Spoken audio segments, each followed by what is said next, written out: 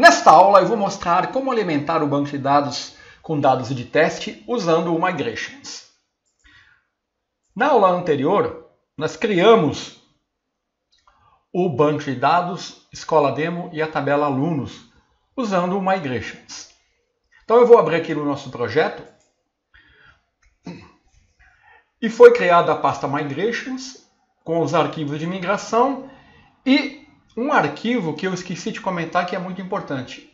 Note que ele criou um arquivo aqui chamado aluno contest, que é o nome do contexto model snapshot. Se você já usou o Entity Framework 6, quando o Entity Framework 6 aplicava o migration, você podia simplesmente deletar os arquivos de migração gerado para desfazer a migração. No Entity Framework Core, nós nunca podemos deletar arquivos gerados pelo Migration. O, o Migration do Entity Framework Core ele gera um arquivo com a extensão snapshot, que representa o esquema atual do banco de dados no código. Esse arquivo ele vai sempre estar em sincronia com migrations que foram criados com esses arquivos de migração. Então, no Entity Framework 6, quando você adicionava um, uma migração, o Entity Framework ele ia interagir com o banco de dados, verificar o esquema do banco de dados e comparar com o modelo de domínio tá? para criar a migração.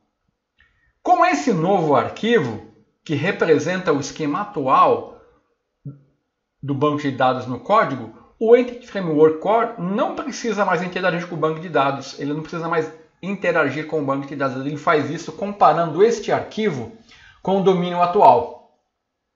Então, é por isso que para excluir uma migração nós usamos o comando remove migration. Tá? Então isso é importante. Esse arquivo aqui ele tem, ele atua dessa maneira. Ele é novo né, no Entity Framework Core.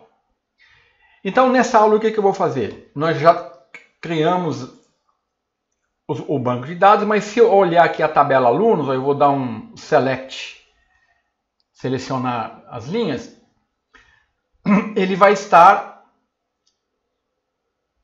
vazio. Então o que, é que eu vou fazer? Eu vou popular o banco de dados.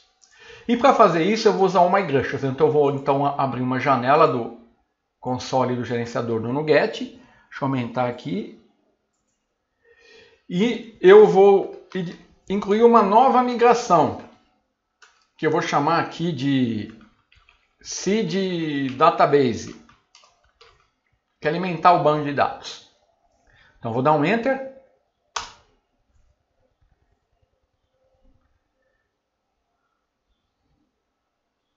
E vamos ver, ó, ele criou aqui ó, uma classe com dois métodos. O método up, que é usado para me alimentar o banco de dados, e o down, para reverter as atualizações. Então, como que eu faço para alimentar esse banco de dados usando esse migration? Eu vou aqui no método up, uso o migration, a instância do migration builder que foi criada. Ele tem aqui ó, um SQL. E aqui eu vou definir um comando SQL para me incluir dados no banco de dados. Então eu vou dar insert into alunos, que é o nome da tabela,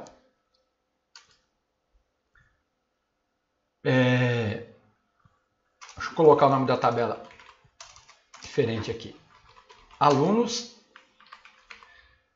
values, e aqui eu vou colocar os valores. Então eu vou incluir é, o, o, o, o, o ID, eu tenho a estrutura da tabela, ó, vai ser a mesma da minha classe. Então o ID eu não preciso me preocupar que ele é gerenciado pelo banco de dados. Ele é um é um campo do tipo identity. Então eu vou definir o nome, então vou incluir aqui, vou colocar aqui, ó, Macorati, o nome, o sexo é string, né?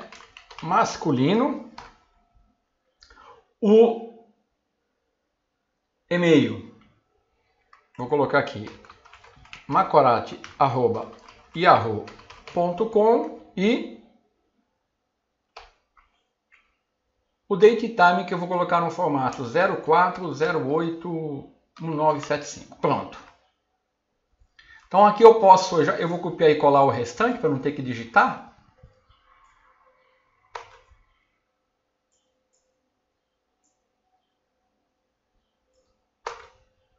Então estou incluindo aqui quatro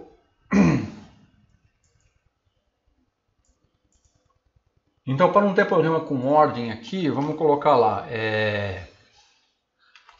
e-mail. Qual, qual é a ordem que eu coloquei aqui? E-mail. Nascimento. Nome e sexo. É isso, né? Muito bem, vou fazer isso para todos os, os demais. Ponto. E-mail, nascimento, nome e sexo. E-mail, nascimento, nome e sexo. O ID vai ser incremental. E para desfazer, eu vou posso usar o Migration Builder SQL. Aqui eu dou um delete from alunos. Como eu como eu, eu só estou tra trabalhando com uma tabela, fica mais fácil aqui, né? Então está aqui o migration que foi gerado para mim e agora eu preenchi com os dados que eu quero popular a tabela, vou coloquei quatro dados aqui. E agora eu vou na janela do gerenciador. Deixa eu aumentar aqui e eu vou dar update database.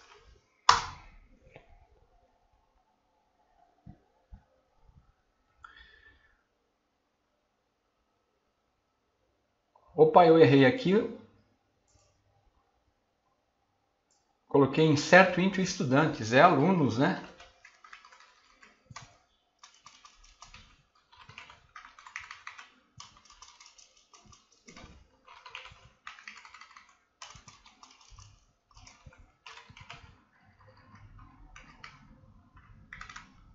Certo? Então vamos refazer Tools no Get Package Manager. Deixa eu aumentar aqui.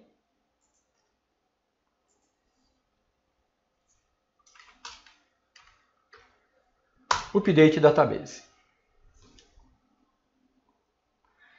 Agora vamos no banco de dados.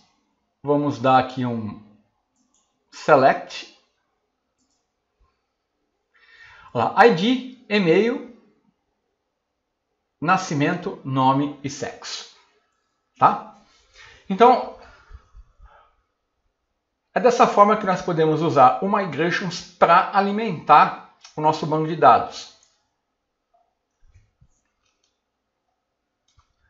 Definindo uma migração e colocando o código que nós desejamos inserir na tabela e também, se por acaso quisermos desfazer dando um remove migration aqui. Aí eu dou um remove migration city database e ele vai aplicar o down, tá? Então nós já temos o nosso banco de dados criado, a nossa tabela também e já temos algumas informações que podemos usar para exibir na nossa aplicação ASP.NET Core MVC. Então nós utilizamos até agora o Framework, criando nossas Classes representam o modelo de domínio, o contexto. Geramos o banco de dados usando o migrations, a tabela e populamos a tabela com dados. Na próxima aula nós vamos continuar definindo uh, os dados no nosso controlador e algumas views com as quais nós vamos exibir informações da nossa tabela alunos. Até a próxima aula.